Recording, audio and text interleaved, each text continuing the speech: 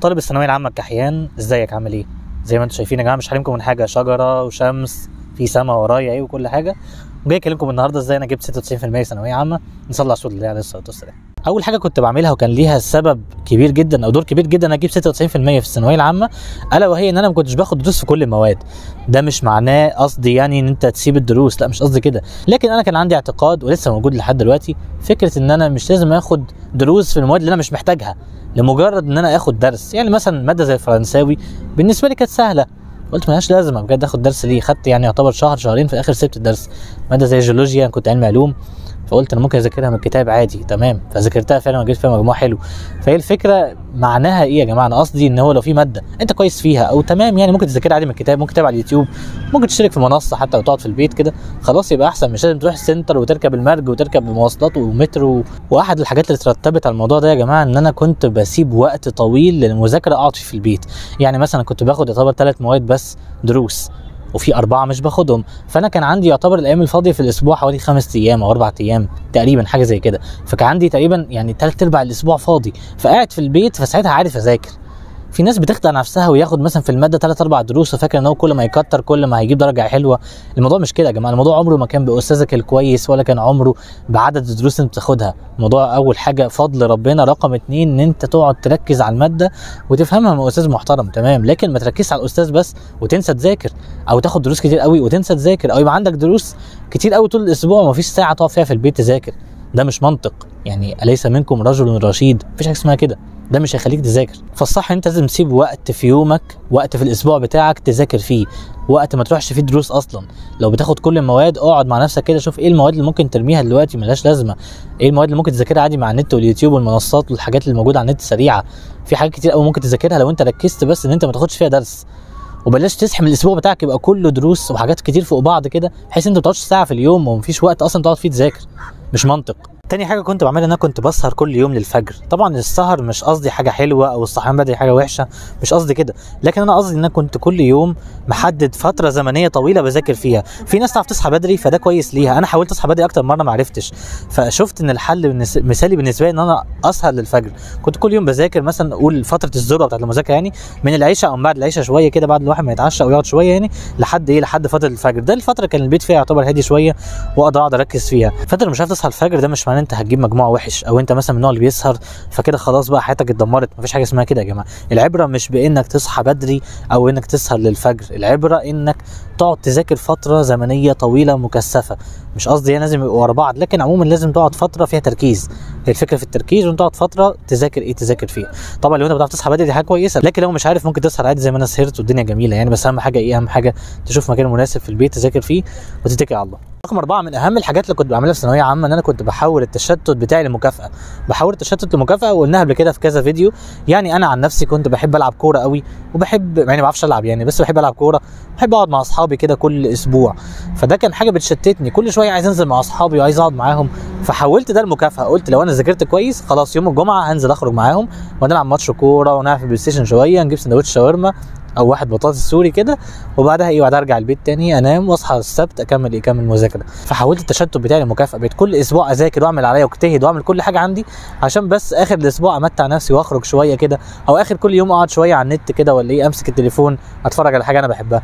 فالخلاصة حول حاجة أنت بتشتتك حول حاجة المشتتة ليك أو الحاجة اللي بتضيع وقتك أو الحاجة اللي أنت عايز تعملها حولها لمكافأة بحيث إن أنت تذاكر فتكافئ نفسك بيها. رقم خمسة من الحاجات اللي كنت بعملها إن أنا كنت بصلي في المسجد. ممكن تستغرب تقول إيه علاقة ده بإن أنت تجيب 96% في الثانوية العامة؟ أقول لكم علاقة ده إيه يا جماعة؟ من الآخر كده الصلاة في المسجد آه حاجة جميلة بجد حاجة جميلة على المستوى الديني على المستوى الروحاني عندك النفسي. الصلاة في المسجد كانت فارقة معايا جدا عشان هي بتخليك تنتظم. تخليك تنتظم فعلا في خمس صلوات في اليوم بتصليهم في ميعاد معين أو حتى لو أنت تعبان النهارده مش قادر تصلي في المسجد مثلا صلي في البيت. لكن في ميعاد معين بتلتزم بيه بتنتظم بيه. ده بيأثر على نفسيتك أصلا بيخليك تلتزم في بيت حياتك. ده رقم واحد. رقم اتنين أنت بتروح هناك تفرغ. بجد والله. كنت بروح كده الجامع وبعد ما تصلي تقعد شوية كده خمس دقايق. تلاقي الجامع كله مشي في الغالب. تقعد لوحدك كده وتدعي ترفع إيدك واقعد ادعي يا رب وفقني في الفيزياء يا رب في مسائل معينة مش عارف أحلها يا رب وفقني فيها يا رب أعرف أذاكر يا رب أجيب درجة حلوة في الامتحان. بتكافئ بتكلم ربنا بتفضفض مع ربنا مفيش أحلى من ده أصلا. بتريح كده ذهنك وبتقعد تخطط تشوف هتعمل إيه النهارده. بجد والله بيبقى مثلا ربع ساعة مثلا بتاخدها في الصلاة يعني خمس صلوات في اليوم يقعدوا ساعة وربع. ده غير طبعا أنت بتروح المسجد بتدعي ربنا بتصلي الصلوات الخمسة ربنا بيوفقك. بجد يا جماعة ربنا بيوفقك وبتلاقي توفيق في حياتك. أنت ما تعرفش هو مصدره منين. لكن طبعا ربنا سبحانه وتعالى هو اللي بيرزقك ربنا هو الكريم يا جماعة. فالخلاصة لو أنت ولا تحاول تصلي الخمس صلوات في الجامع. لو الموضوع حتى دلوقتي أنت مش متعود هتصلي في الجامع ابدأ صلاة اتنين تلاتة في الجامع لكن عموما لازم تصلي الصلوات الخمسة في ميعادها حتى في البيت. يعني لازم تصلي حتى في البيت. ده شيء أساسي. لو أنت بنت الصلاة في البيت طبعا مهمة. آه ده الأولى يعني. طبعا ده ما يمنعش إن إحنا مثلا ممكن نروح الجامع كل فترة من حيث يعني تقوية الإيمان وكده ونسمع مثلا درس علم نروح نصلي الجمعة. في رمضان داخل علينا مثلا التراويح مثلا مش كل يوم يعني لكن إيه يوم ويوم مرتين في الأسبوع كده. الحاجات دي بتفرق معانا يا جماعة نفسيا والله بجد نفسيا وروحانيا. بتفرق معاك جدا ربنا بيوفقك. توفيق من عنده سبحانه وتعالى ما يتأس بأسباب.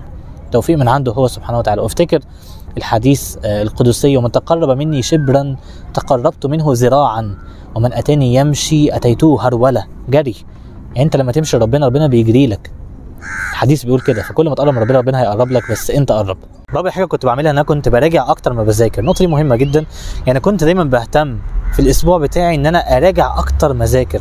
ماشي جميل جدا. في درس جديد خدناه فهذاكره وهعمل الواجب بتاعه. لكن مع كل درس جديد بذاكره براجع ولو صفحة من القديم. لو كل يوم بس رجعت جزء من القديم بلاقي نفسي على آخر الشهر رجعت واحدة اتنين تلاتة في المادة اللي أنا بذاكر عليها. لو مثلا دلوقتي هذاكر الوحدة الثالثه في الفرنساوي فأعدي بس بسرعة على الوحدة الأولى أبص عليها حتى بصة معينة أو أعدي بس على الكلمات بسرعة كده. ده بيخليني ما أنساش كلمات الإنجليزي ولا قوانين الفيزياء ولا القواعد النحوية في العربي ولا الأساليب البلاغية ولا الحاجات كتير جدا اللي إحنا بننساها دي. الأدب مثلا بنساها النصوص بنساها المعاني بنساها الكلمات بنساها الجرامر مش عارف احفظه كل ده حله إن أنت تراجع أكتر ما تذاكر. لما تيجي تذاكر حاجة جديدة راجع معاها حاجة صغيرة. حاجة صغيرة مع حاجة صغيرة. كل يوم هتلاقي على آخر الأسبوع على آخر الشهر أنت راجعت تقريبا نص المنهج وأنت مش واخد بالك. دي من أهم النقط ومش أي حد بيقولها. لكن دي بجد من أهم النقط لأي حد من الأوائل أو أي حد بيجيب درجات عالية بيعملها. رقم ستة من أهم الحاجات يا اللي كنت بعملها في ثانوية عامة ودي فرقت معايا جدا إن أنا ما كنتش مشغول بأصحابي يعني ما كنتش مشغول باصحابي يعني ما كنت صاحب صاحبي يعني كنت مثلا بكره صحابي لا مش بكرههم بحبهم ونخرج مع بعض وكل حاجة لكن عموما عارف حدودي. يعني عارف حدودي؟ يعني مثلا لو في نص مذاكرتي واحد قال لي يلا بقول لك إيه تعالى ننزل تعالى نخرج تعالى نعمل معرفش إيه لا. معلش يعني أنت مش هتنفعني يوم النتيجة لما أجيب درجة وحشة. ولا أنا هنفعك لما تجيب درجة حلوة أو وحشة. فالخلاصة اللي هو إيه كل واحد فينا له حدوده. تمام؟ أقول له لأ معلش يعني بعرف أقول لأ من الآخر كده. يعني أقول له معلش مش عارف أنزل النهارده. بص خليها يومين كده. أو يوم الجمعة زي ما اتفقنا ما إحنا متعودين ننزل. أو يا عم حتى لو نزلت النهارده معاه مش هكررها تاني. أحاول بس إيه أحاول أثبت مواعيدي أحاول أعرف حدودي. أحاول ما انشغلش بأخبارهم واخد درس عند مستر مين ويسمعني يبقى هو أحسن مني فأنا هفتح مجموعة غيره وهخليه بقى ما يجيش المجموعة اللي أنا فيها عشان ما أقول ده هبل يا جماعة. أي حد بيعمل كده بجد يعني في حاجة في حاجة في دماغه يقعد يخبي عليه مذكره وأقعد بقى إيه أجيب مثلا كتاب خارجي وما أقولش لصاحبي عليه عشان هو ما يجيبش درجة عد. لو أنت مشغول بالناس كده صدقني أنت عمرك ما هتعلى عن مستوى جزمتهم.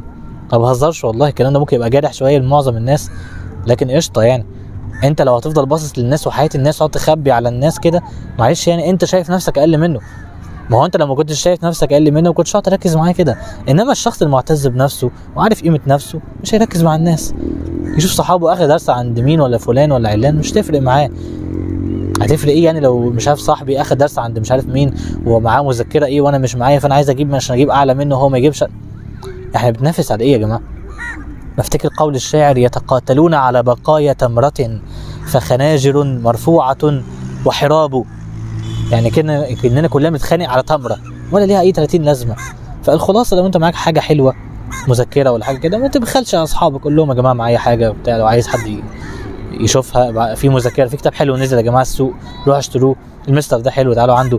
إنما تخبي بقى وتشوف فلان عمل إيه وتبقى أصفر في نفسك كده ومش سالك وتقول لهم أنا ما ذاكرتش حاجة وأنت ذاكرت وتقعد تنشغل. الشخص المشغول بالناس ده ومشغول بأصحابه والله العظيم بيعيش أسوأ حياة. والله بجد شخص فاضي من جواه ومن براه وحاجة منيله ب 60 نيلة كده. الخلاصه يا جماعة من أفضل الحاجات اللي عملتها لما كنت ثانويه عامه أنا كنت منشغل بنفسي. آه ممكن أشوف صحابي أخدوا درس عند مستر مين عشان أعلي مستوايا عشان أشوف مثلا أنا الدنيا ماشية معايا الأيام دي إزاي وكده تمام. إنما بقى ما أعملهاش من دافع الغل والحقد وإن أنا مش عايز حد يبقى زيي أو أخبي عليهم ومش عارف أروح لمين وأقول لهم أنا مش مذاكر وخ... كل ده ما بيأكلش عيش كل ده ما بيأكلش عيش. ما تعملش كده؟ مع أصحابك وما تنشغلش أصلا بحد في ثانوية عامة غير نفسك. ده المهم. وفي النهايه يا جماعة الثانوية العامة مش هي بداية الكون ولا هي نهاية الكون. سنة عادية زي أي سنة. هي مهمة. ليها قدر من الاهميه كبير عشان بتحدد كليتك. لكن مش بتحدد حياتك يعني.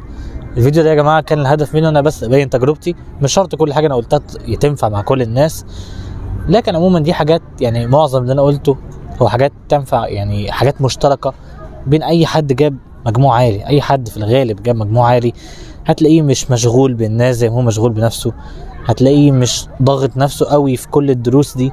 لا هتلاقيه بيعرف يفرق ويقعد أيام في البيت. هتلاقيه دايما محافظ على علاقته بربنا. مش شرط يبقى شيخ يعني مش قصدي كده لكن عموما يعني الجانب الروحاني عنده مهم. كل الحاجات دي مهمة يا جماعة. بس أنا هسيبكم بقى دلوقتي عشان إيه أنا قاعد على الكورنيش في دوشة حواليا. مش هعرف اصور أكتر من كده. صلى رسول الله عليه الصلاة والسلام.